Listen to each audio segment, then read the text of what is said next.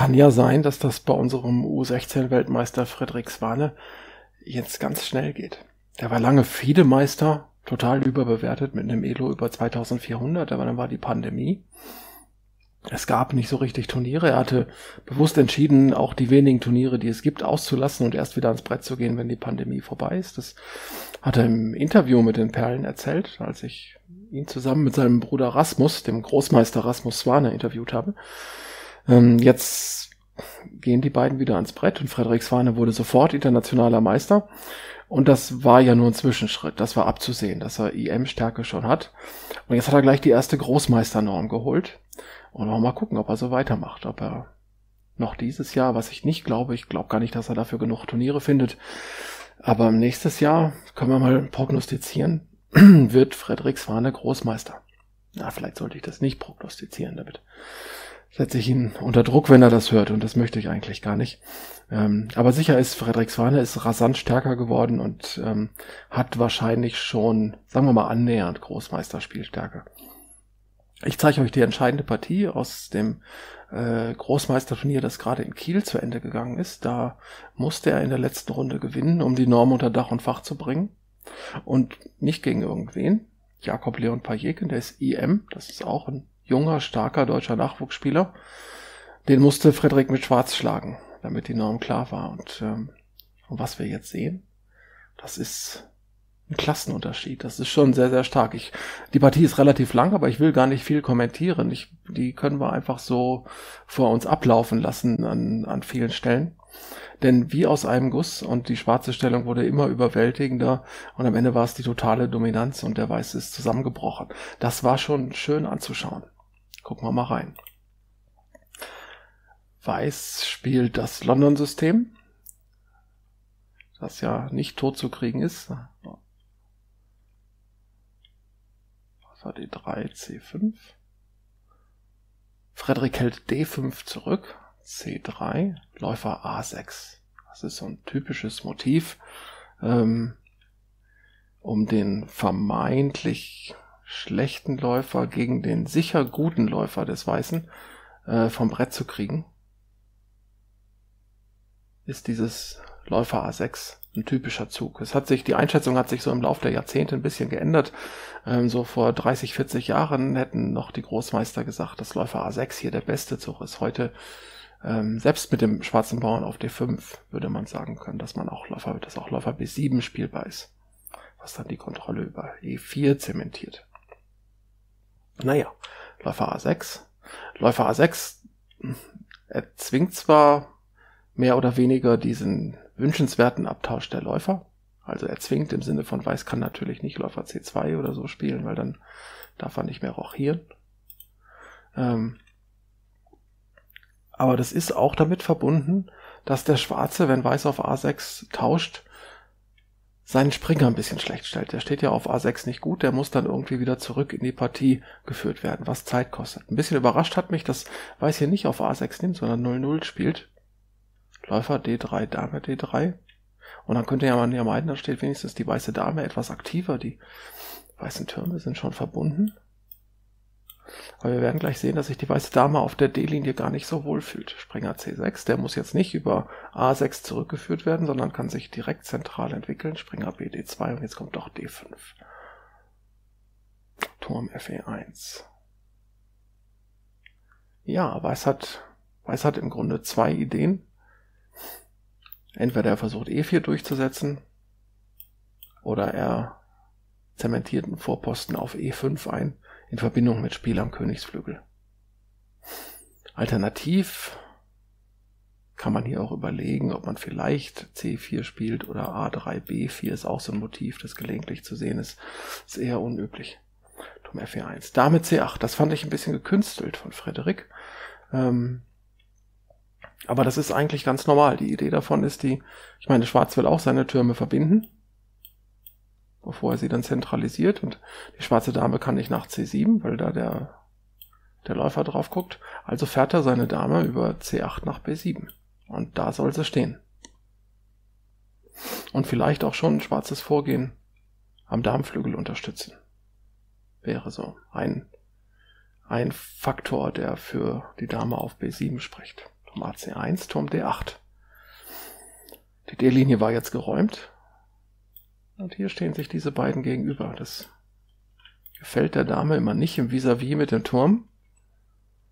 Springer E5, Dame B7. Ja, er hat hier keinen starken, keinen Zug gefunden, um weiter zu verstärken und gibt dann halt die Zeit her, die Dame, ne, C8, B7, C6, die er jetzt braucht, um auf C6 rauszunehmen. Und hier wäre es jetzt für den Weißen wirklich an der Zeit, sich zu überlegen, was mache ich denn eigentlich Aktives? B3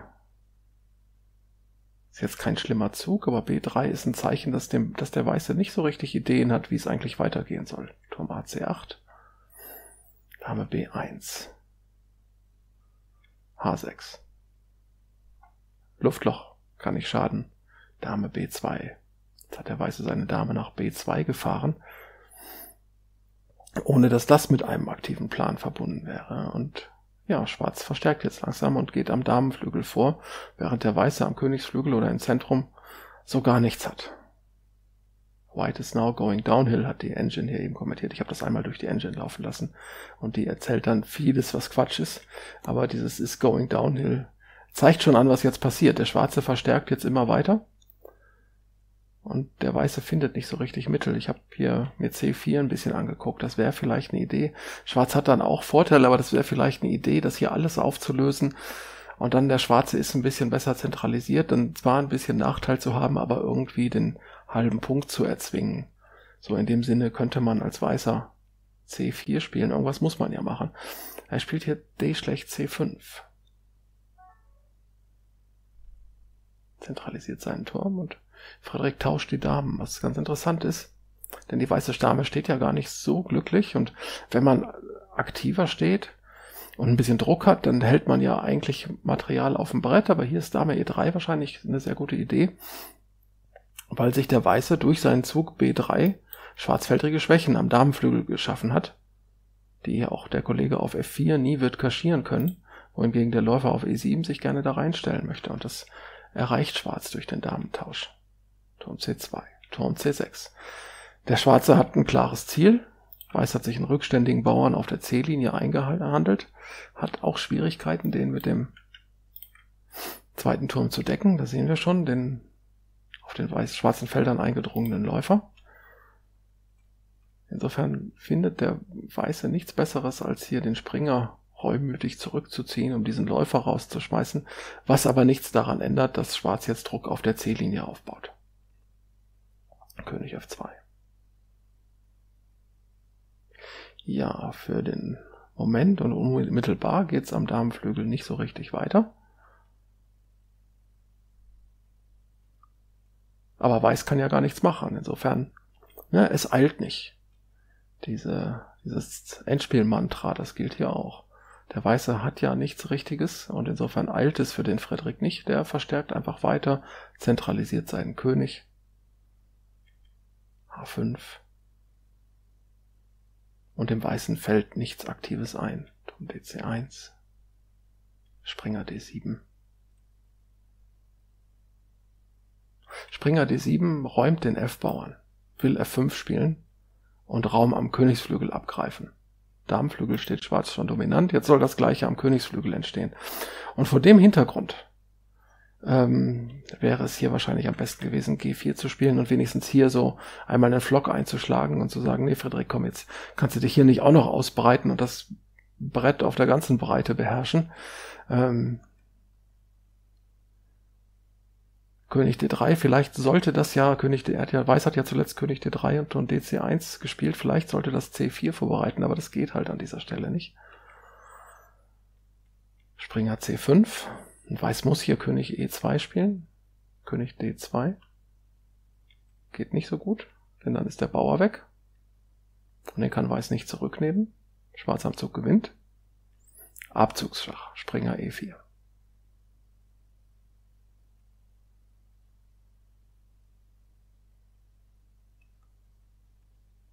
Weiß muss hier König E2 spielen.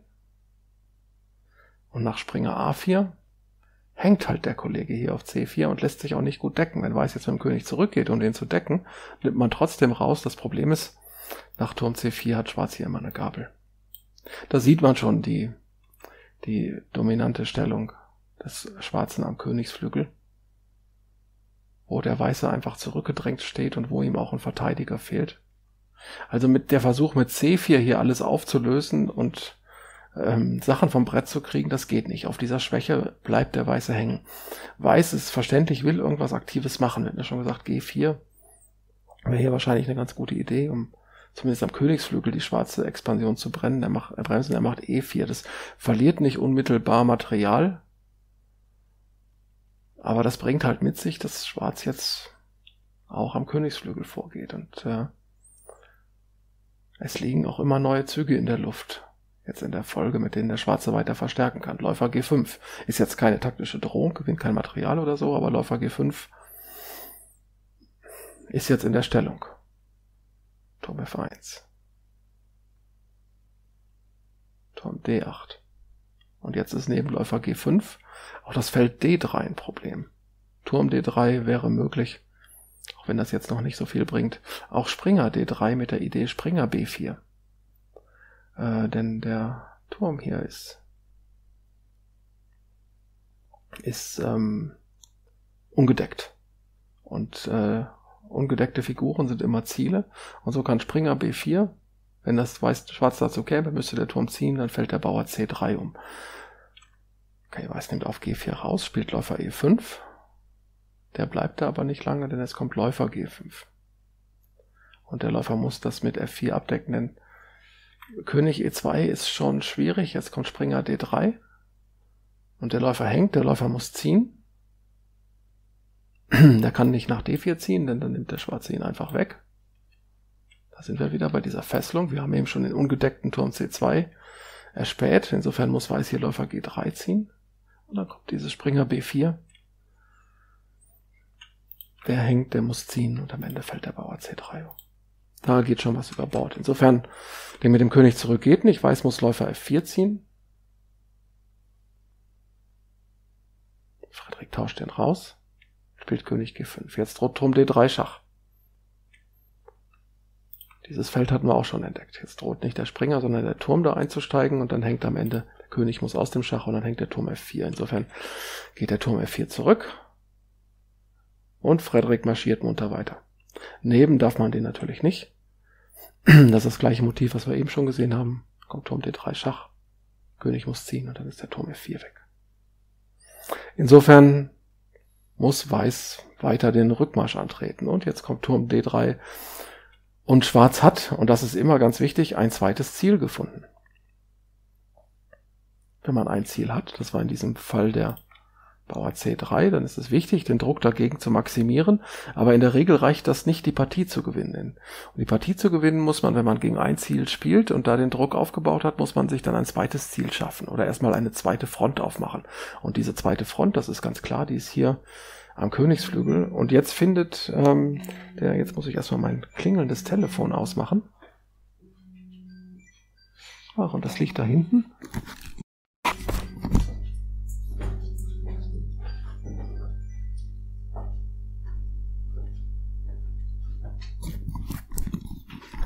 Entschuldigung für die Unterbrechung. So, ähm, wo war ich stehen geblieben? Ah ja, hier ist die zweite Front.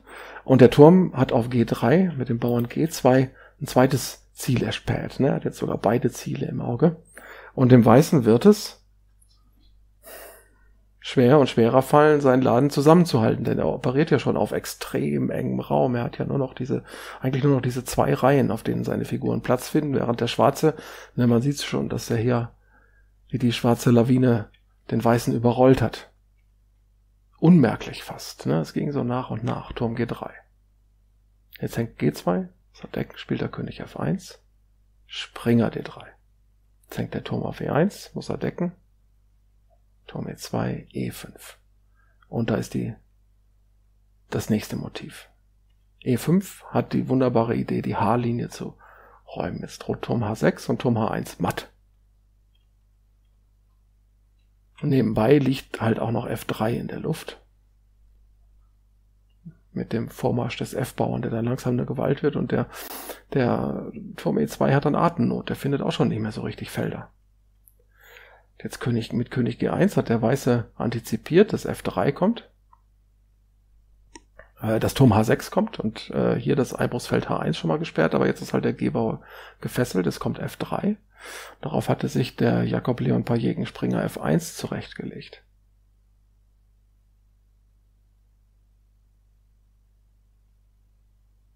FE. Turm E2. Und der Turm kommt nicht raus. Der Turm G3. Das ist aber nicht schlimm, denn es kommt Springer F4 mit Angriff auf den äh, Turm E2. Und jetzt gewinnt du, hm, Schwarz einfach Material. Springer G3, Springer E2, Springer E2. Und Schwarz hat eine Qualität mehr und der A2-Bauer ist gleich auch noch weg. Und mit einer Qualität weniger hat sich der Weiße dann entschieden, hier aufzugeben. Die Stellung ist natürlich total verloren. Tja. Und das war's schon. 49 Züge aus einem Guss und Frederik hatte seine äh, erste Großmeisternorm unter Dach und Fach. Schon toll. Und man kann hier gar nicht so auf, so ich, ich zeige ja hinterher gerne immer Schlüsselmomente. Ähm, aber die haben wir hier gar nicht so richtig. Ne? Es ist halt wirklich, es setzt sich so nach und nach diese schwarze Lawine. Also der Weiße musste hier einmal mit, mit G4 stoppen. Ne? Hier sollte der Weiße G4 spielen. Nachdem er das nicht gemacht hat, rollt da wirklich eine Lawine auf ihn zu und Weiß steht an beiden Flügeln schlecht.